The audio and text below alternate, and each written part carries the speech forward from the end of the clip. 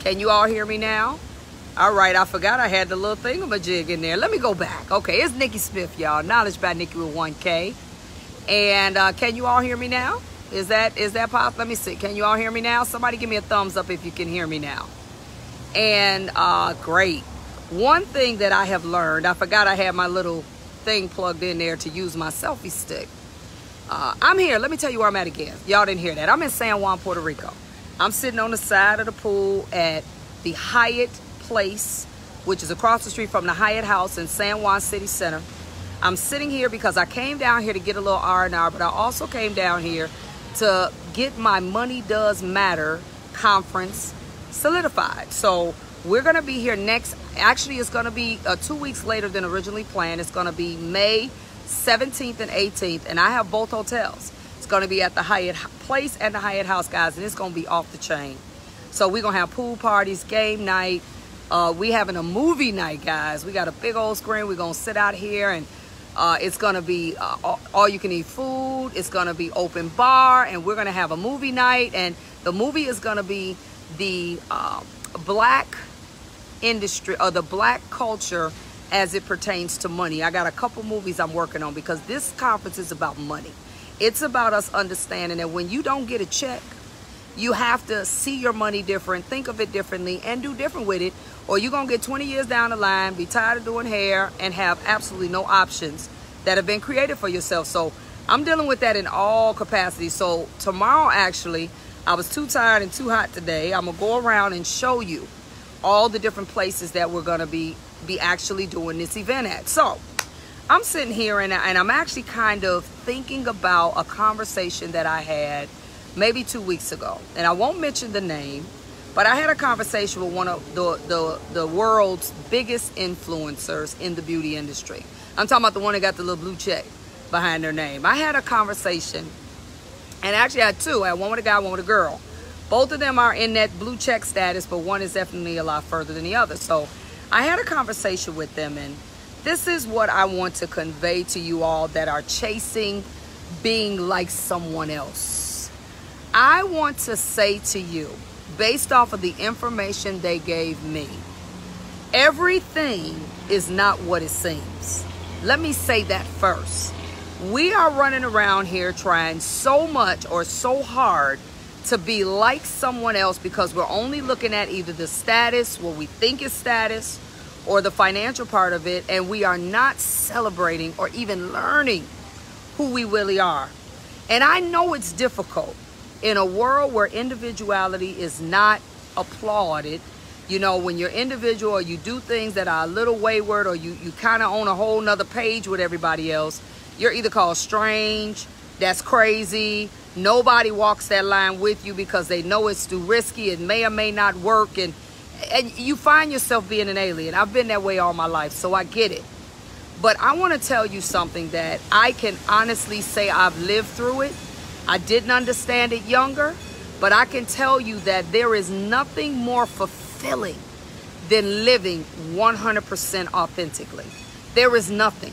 At the end of the day, when you have to come back home and you have to deal with you, that you've been somebody else all day, all week, all month, which unfortunately is what's kind of happened with some of our celebrity or our Insta famous or our YouTube famous stars.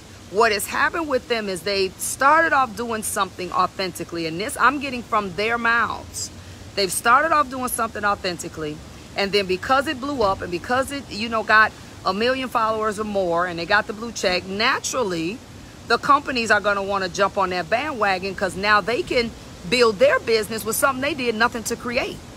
And be careful, y'all, because I'm also hearing the dollar amounts that some of these co companies are throwing at people that are YouTube sensations or that have built a following. And we think it's a lot of money because we're used to grinding and hustling for our money. But a company with a million dollar budget, a marketing budget that throws you 50 grand or throws you five grand a year or six grand a year. Y'all do realize that ain't no money, right? Not for them. And a lot of us are just saying, oh, yes, let me take it. That's good. Because we used to grind it for that 5,000. We used to grind it for that 10,000. So to us, it's money we don't have to grind for. But let me tell you what happens. And this is what made me do this video. when this happens, and then now you sign these contracts, and now you become owned, or now you become obligated by these companies to do X, Y, Z, this, that, and the other. Many people that have taken on that because you, I get it. I'm 32 years in the game. You get tired of hustling for your money. I get it. But when you take other people's money, be careful because now you're under obligation to do something that you really just did for fun. Now you have to do X amount of videos. Now you have to do X amount of appearances. Now you don't have a choice.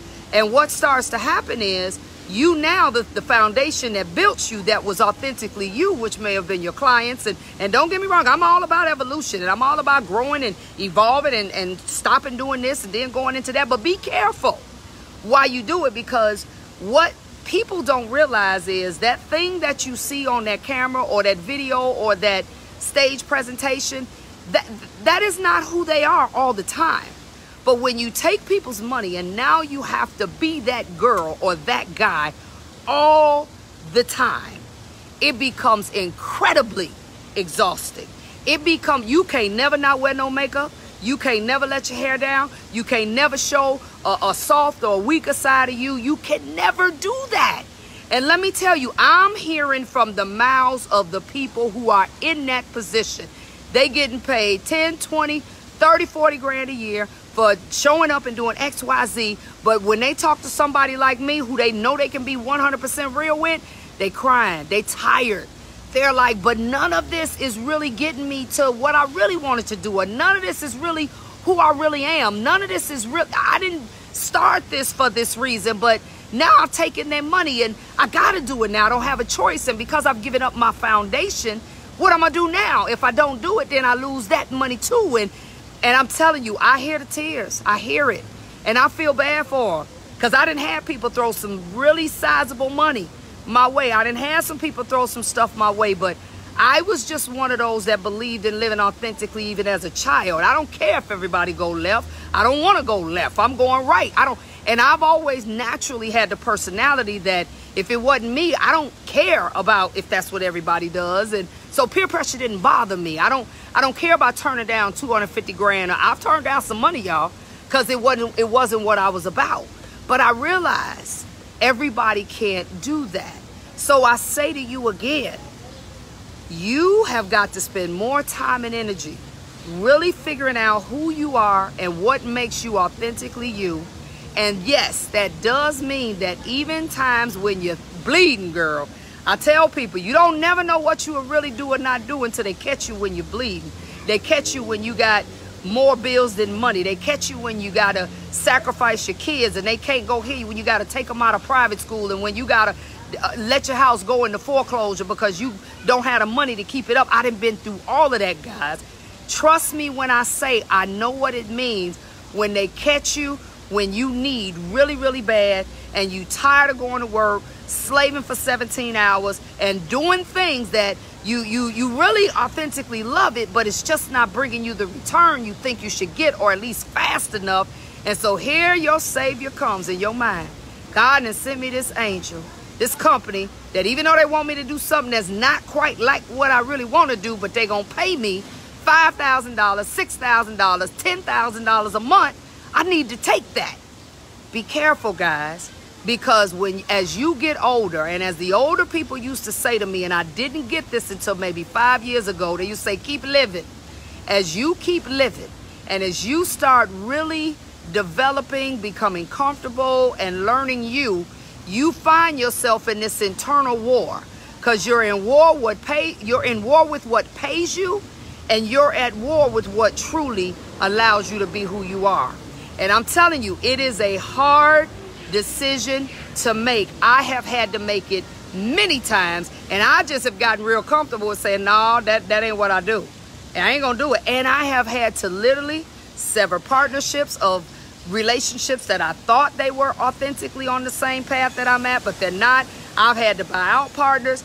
I can, every morning when I get up, I need to know that I can live my best life and the only person that I need to try to be better than or like is my last self, my, my yesterday's self. The only person I'm trying to measure up to is who I was yesterday and do better than that.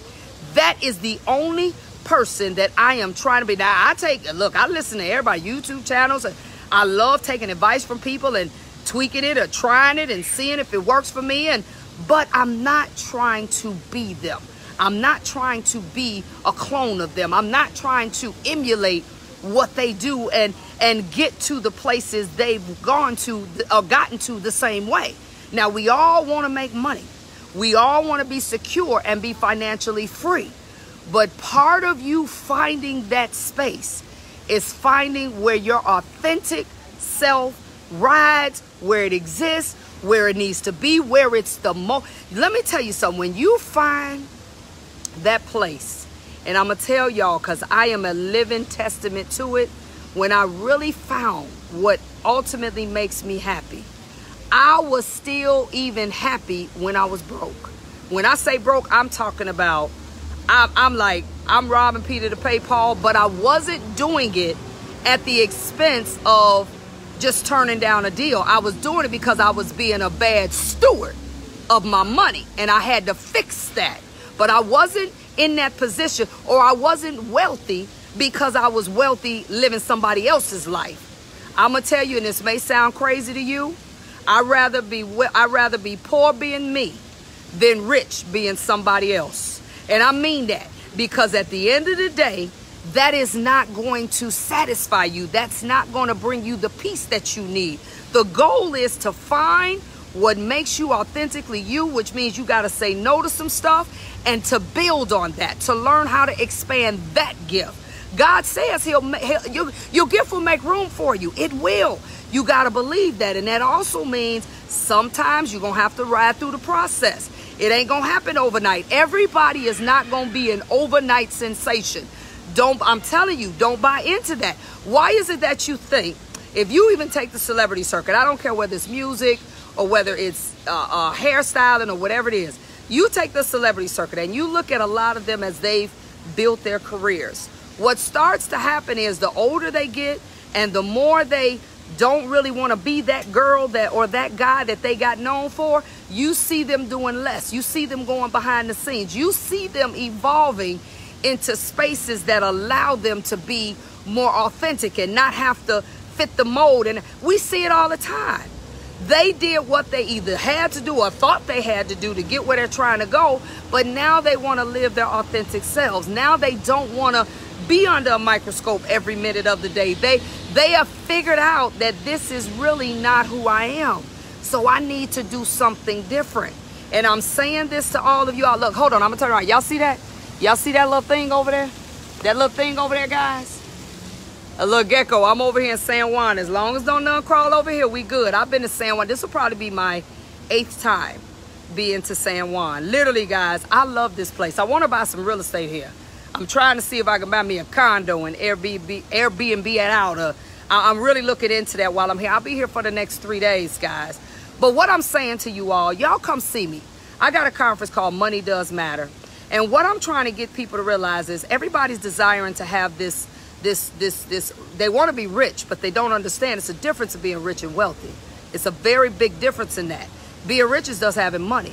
Being wealth is you understanding that you have to create sustainable wealth and you gaining the wisdom to maintain and to sustain the riches that you have got gotten. That's why a lot of people that are rich are now broke because they didn't get the wisdom, the knowledge, the learning of how to leverage their money and how to grow it in ways that you don't have to grind for it and how to use it to give and plant seeds to others. And that's when you become wealthy. That's a wealth mindset. That's not being rich.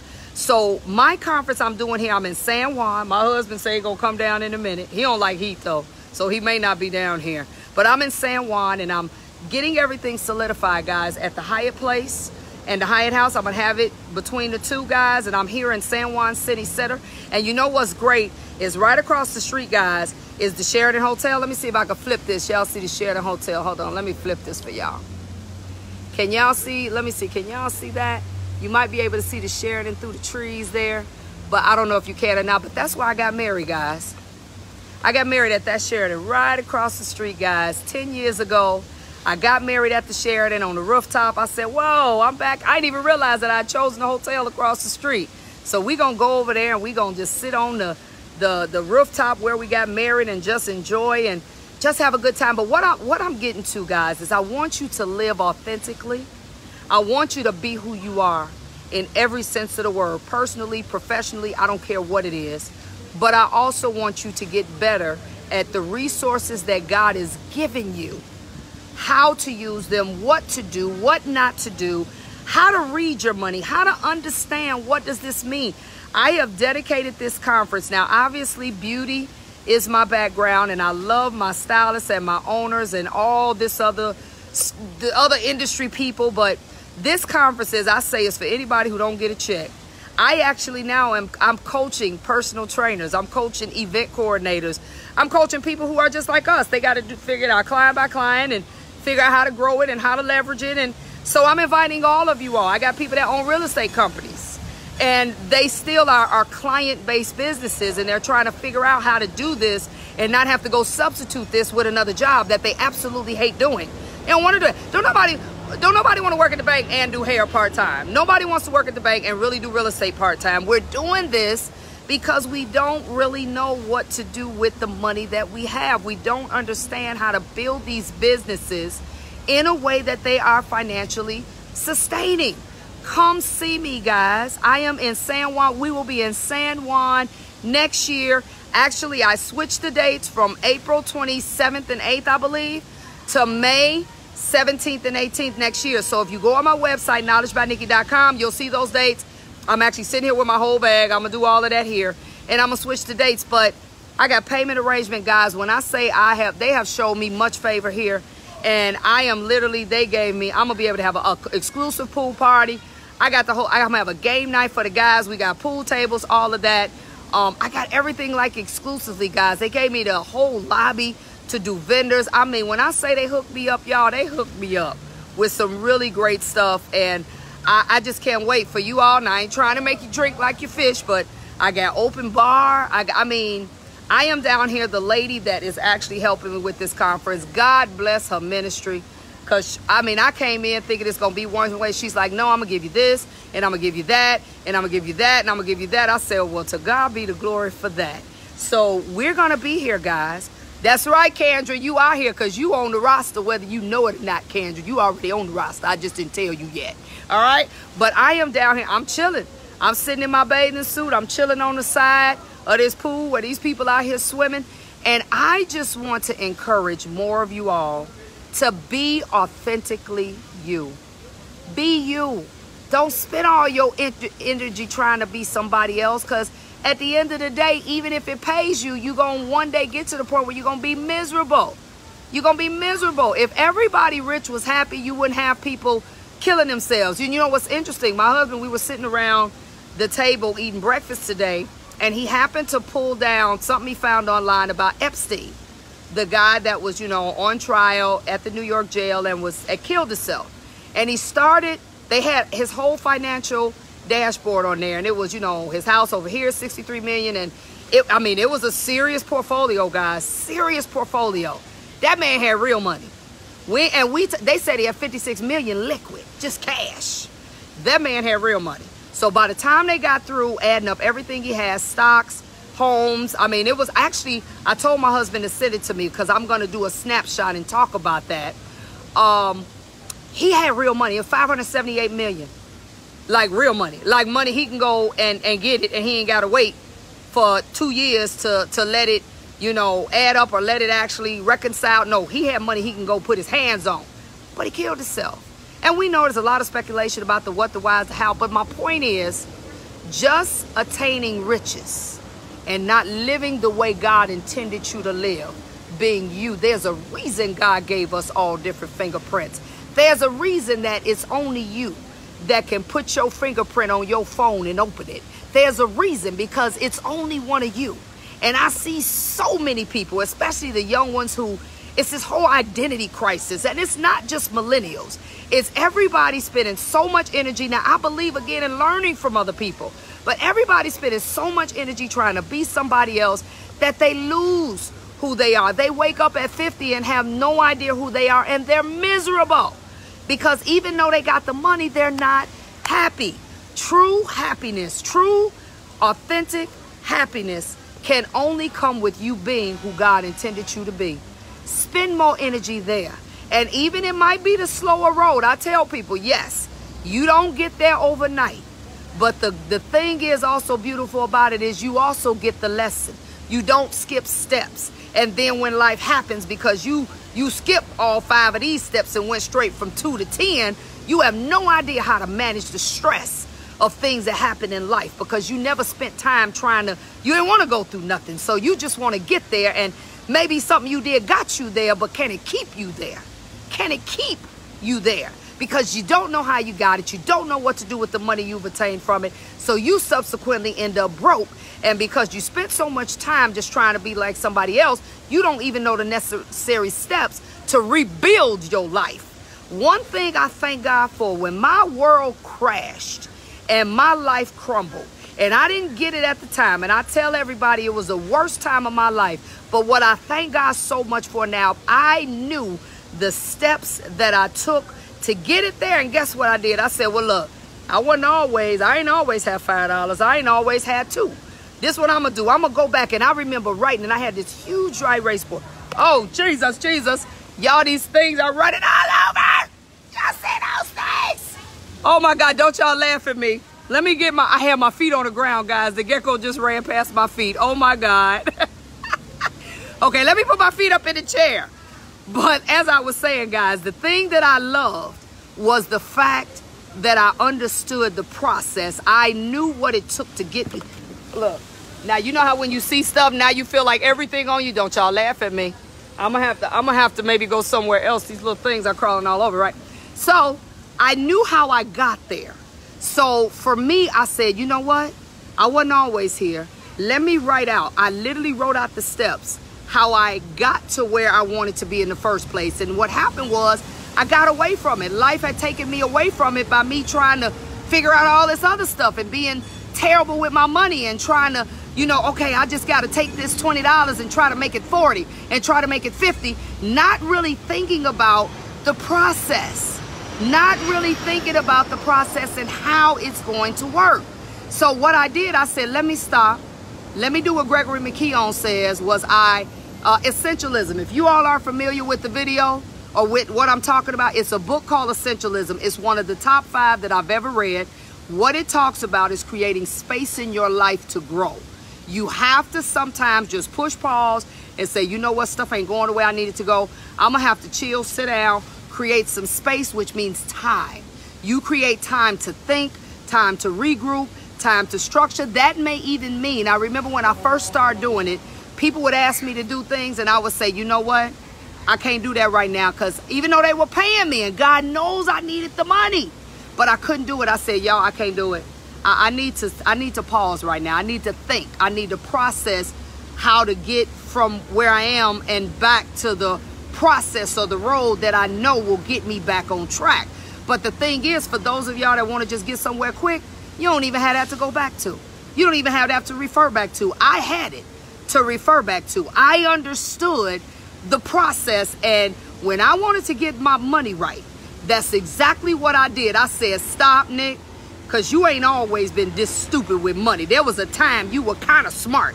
So what did I do then that I'm not doing now? And y'all, when I say I went back to the drawing board, it took me two years, and probably not even two years, to go from being behind the eight ball to way in front of the eight ball. And it's and one thing, because I was authentically living life according to what I knew was about me, and I had scaled down, and I said, I'm not trying to do 15 things no more. Let me pick two. Let me focus. Let me do less for more, which is what that book talks about. And it changed my life. It literally changed my life, guys. And I was able to fast track, save money, get out of debt. Oh, I mean, I did that thing. I said, oh, no, no, no, because I ain't doing this. But I literally, I went back and I thought, what did I do? And I went and I took those strategies and obviously I enhanced them because I've learned more. And that's what I did, guys. But it's difficult to do that when you don't know the process because you're too busy trying to be Insta famous and Facebook famous and get YouTube to pay you. And ain't nothing wrong with that as long as you're being who you authentically are, then it's smart. If you're going to use those vehicles to help you stretch and leverage what you do, fine. But if what you're doing on those channels is not who you are, you're going to crash and burn mentally, if not physically. I'm telling you, I hear the tears of the people who have done this, and they're like, if I knew what I knew now, but now they don't have a choice. They got to eat, they got kids to take care of, they got mortgages to pay, they got to live, and they've allowed these companies that threw these bones at them, which was nothing for the company, they allowed them to basically say, I'm going to pay you. And we go, you just put us on your platform and you use our product in your video and you do this and that and the other. And they took so many of these deals that now they can't do hair no more. They can't do the things that really, really allowed them to be who they were and the thing they love. Now they got to work for the company. Now they are hostage. They just got a different master. That's all. They are hostage to these companies and they can't quit. So now this is what starts to happen, guys. And so again, I tell you, I'm sitting here in Puerto Rico. When I say I'm chilling, I came out here. I knew I had a meeting with the lady that's organizing this. You all go on my website, knowledgebyniki with 1k.com. Check out my website. The conference is called Money Does Matter. I'm sitting here now about to change some other things, but I got uh, payment arrangements. I got all of that, guys. It's going to, again, it's all inclusive. It includes your hotel. It includes your food, real food. Now, you got to get yourself here now. I ain't doing all that. But we're going to have city tours. We're going to have pool parties. I got a game night for the guys. We got a movie night, guys. We got a 121 inch inflatable screen. The hotel has allowed us to have the entire outdoor space, which is off the chain, meaning ain't nobody there but us. I'm to show you a movie. It's about black people and money and how it has evolved from slavery to now. I can't wait till y'all see it. This is what I want us to do. Be you, but learn how to become wealth-minded being you. Okay? So y'all just do that for me. But I'm to sit and chill. I'm sweating. But it's a good sweat because it is beautiful out here, guys. It is so beautiful. Um, I'm to see if my husband, if he faked me out, he probably fell asleep in the room. But I got my computer. I got my little iPad. I'm to watch a movie. I work to movies. And I'm to sit out here and chill. We just had the best food of life at La Las Casablanca. Oh my God. So I'm gonna have some pictures for y'all later. I mean, I had stuff, I had avocado stuffed with shrimp, guys. Oh my God. Avocado stuffed with shrimp and all these uh, garnishes of onion and uh, cilantro. And then they served it to me with, uh, they call it mu, mu, mu, mufanco or something like that. It's, it's basically mashed plantains. And oh my God, I'm in seventh heaven, y'all. So I ate some Bobby. I see my husband on here now. You're supposed to be down here with me, not watching on Facebook. Okay, that's Bobby Madison. That's my husband. Get downstairs. He watching me on Facebook. But I'm going to sign off, y'all. So you all keep looking for my Money Does Matter conference information tomorrow. He's going to actually be filming while I do a whole live. We're going to go from place to place to place, show you what we're doing in uh, San Juan. We are having a great time, guys. Uh, so I'm going to sign off. So you all remember, money does matter, but it is better to be broke in you than rich and somebody else. All right? Deuces.